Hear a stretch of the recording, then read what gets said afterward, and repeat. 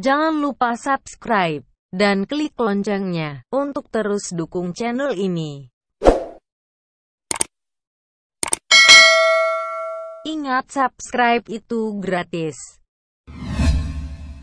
Pada video kali ini saya akan melakukan pengecatan helm menggunakan cat semprot merek Samurai Pen. Untuk langkah yang pertama, helm kita dasari dengan cat epoksi terlebih dahulu. Dengan catatan sebelum diepoksi helm harus sudah diamplas. Tujuannya yaitu agar ketika kita epoksi dengan dasar helm yang sudah diamplas maka epoksi akan merekat maksimal ke helm untuk pengaplikasian epoksi ini sendiri tinggal kita semprot-semprotkan saja secara merata sampai cat yang lama tertutup secara sempurna dengan epoksi. Pada tahap epoksi ini nantinya saya buat dua lapis dikarenakan untuk helmnya banyak permukaan yang kurang rata jadi nanti epoksinya kita buat dua lapis dengan dua kali pengamplasan.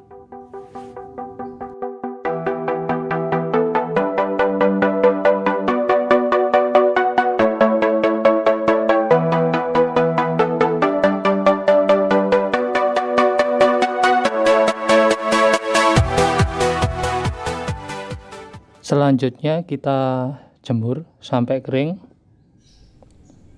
Setelah kering lalu kita amplas dengan menggunakan air dan sabun. Di sini saya menggunakan sabun sunlight.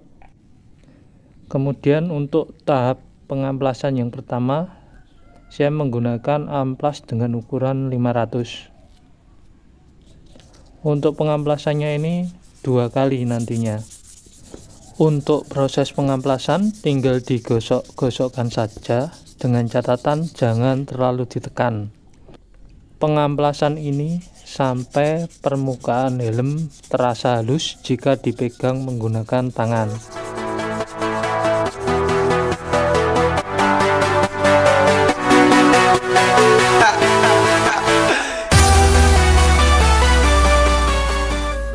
Selanjutnya kita epoksi lagi dikarenakan permukaan helm masih belum halus dan berikutnya kita amplas lagi tapi dengan menggunakan amplas ukuran 1200 atau 1000 juga boleh.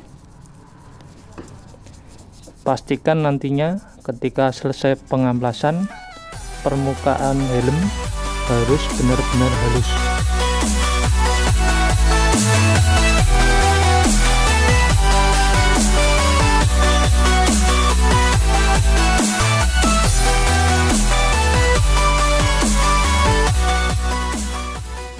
selanjutnya kita cat dasar dengan warna putih.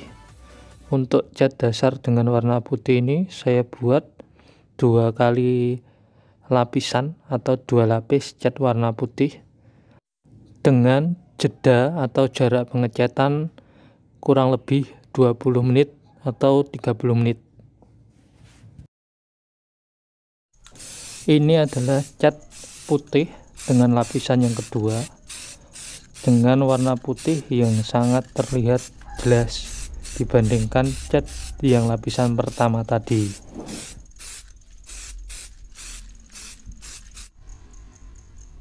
Kemudian kita jemur sampai catnya benar-benar kering. Selanjutnya kita grafis dengan bantuan solasi kertas dengan cutter.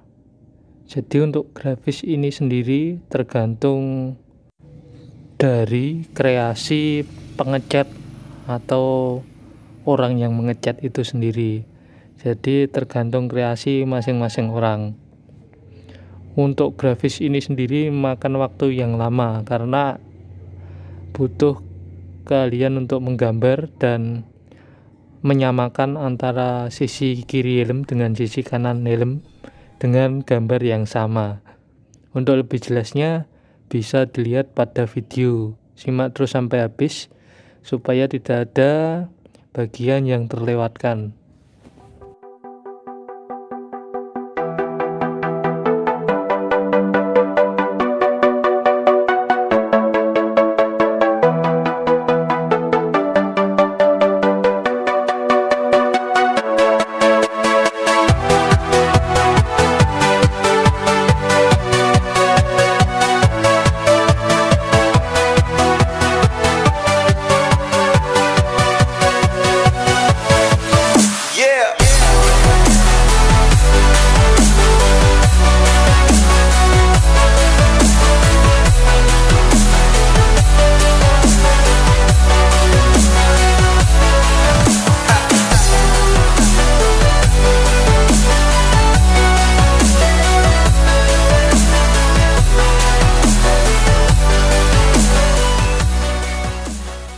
Untuk hasil dari kreasi isolasi kertas tadi seperti ini ya.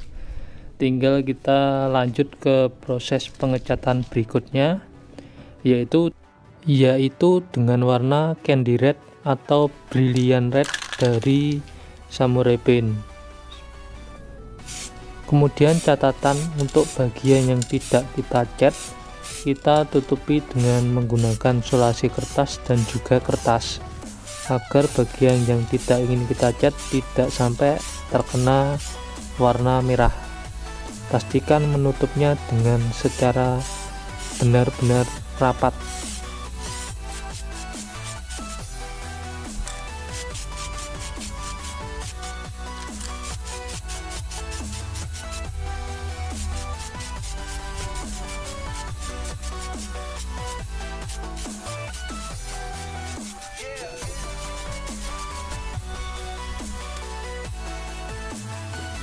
kemudian jemur sampai benar-benar kering.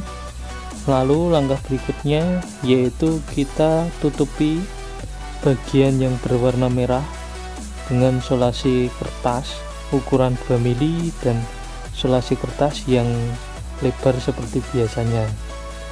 Jadi tujuannya kita melindungi bagian merah agar tidak terkena cat berikutnya jadi mempertahankan bagian yang berwarna merah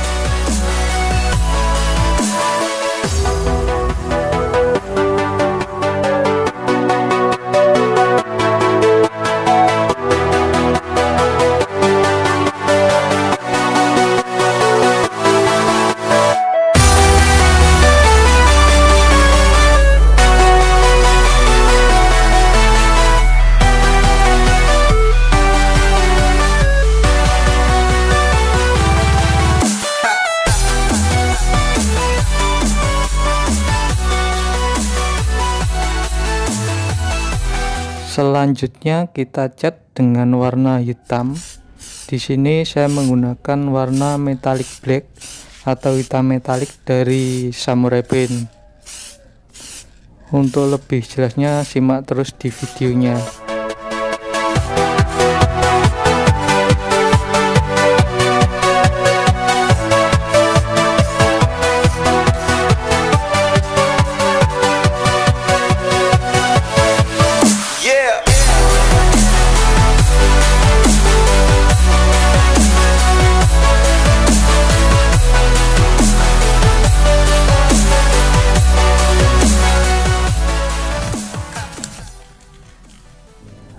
Setelah catnya kering, tinggal kita lepasi semua solasi kertas yang menempel di helm dan akan terlihat grafis dari helmnya.